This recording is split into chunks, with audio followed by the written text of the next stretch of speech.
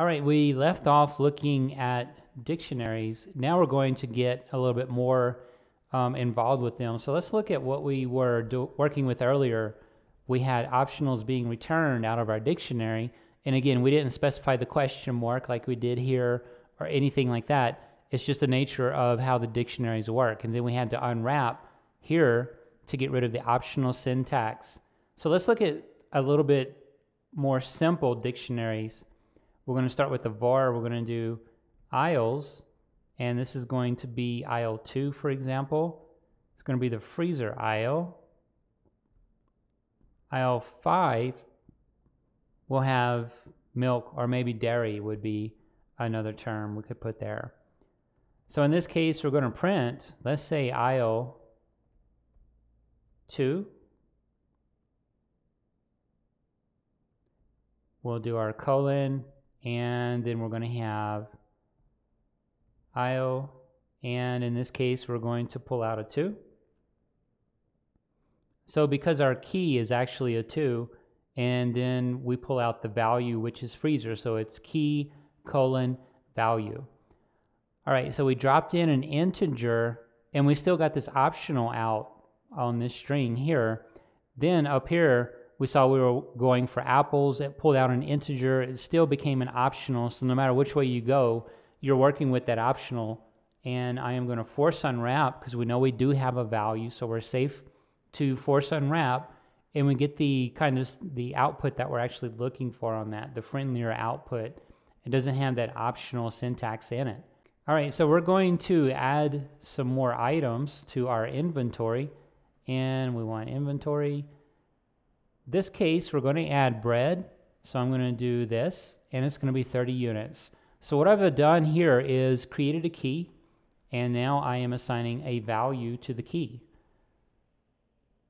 All right, and I want to print the total count of our inventory. So if we look, well, we can't look in the console. I think there's four items total. We can see that over here. We have four. So if this goes right, we should have 5 because we added this uh, these units of bread. So let's see, inventory is going to be count. And we're going to have inventory. And I really just want to get um, what are the keys because that's the food group items. So I'm going to do keys and then count and close it off. And you can see here now we have our five. We can clearly see we've increased the number of items inside of here. And then what I'm going to do next, let's say we have inventory. Let's see, I want a V. And this is going to be apples equals, and I'm going to do 15 apples. So up here we have 75, and now we're going to have 15. Down here I can say number of apples remaining. And in this case, I'm going to do this and we'll have inventory. So I'm going to pull the value of apples out. So we'll have this. I'm going to want to force unwrap. And then down here we have 15 number of apples remaining, 15, which is exactly what we were after. All right, so you may have noticed when we're going after these keys, we're always typing them in again. That can be error prone if you have a lot of them. So, what we want is some kind of centralized reference that we can use for this. The way to do it is with enums, actually, or it is one way. So, we're going to do enum, we're going to declare these. We're going to have, let's do a lowercase i inventory keys going to be a type of string for this enum, and I'll create a body for it. All right, because we do want strings ultimately out of our enums, so the way this is going to work is case bread. It's going to be an enum for bread, so I'm going to do this. I'll do case apples. We'll have apples. All right, let's see how to use that. So notice here, there's no commas, just each one is a case.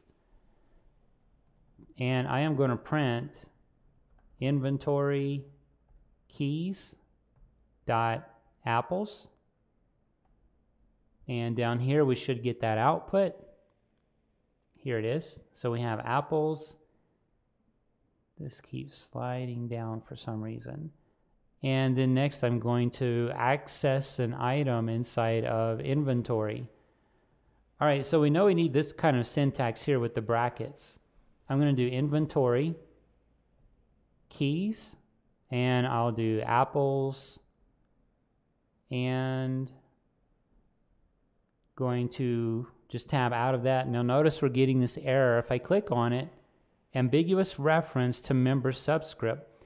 So what's happening is that this is an enum, although it is string because we can assign these string values.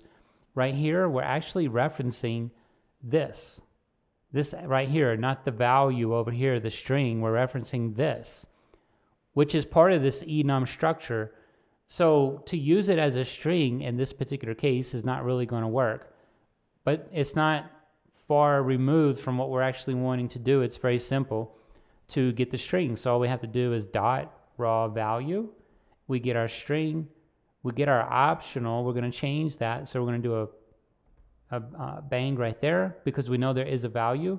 Now we're referencing values inside of our dictionary without having to type in the entire string each time. We can just reference off of this enum uh, using these inventory keys. Every single enum that we add is just going to appear when we click dot, and then we'll get apples, bananas, bread, whatever it might be and we'll reference raw value and of course our bang to go ahead and remove the optional syntax. So we're going to keep working with these and do a little bit more manipulation on our inventory. So we'll have inventory keys and that is going to be apples raw value again. We're not printing this out, so we're just going to assign something to it. Right now, apples has a 15. We've decreased it to 10 so this is working great for us here when we're assigning this new value. So we can print now, let's say number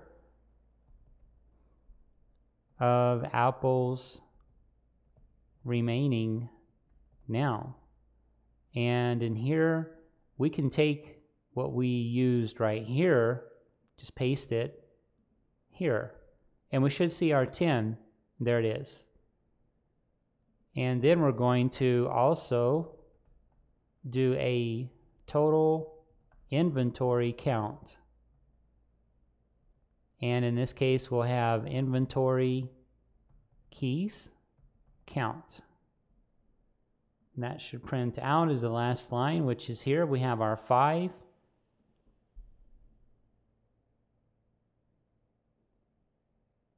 And then we want to remove apples completely, we can do this. So we're going to have inventory keys, apples, and what we're going to do is raw value because we're accessing this key and assign a nil.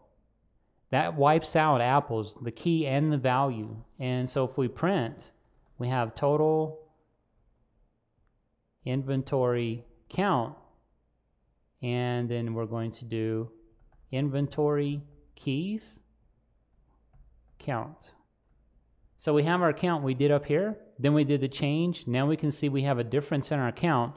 So we went from five to four and we removed apples.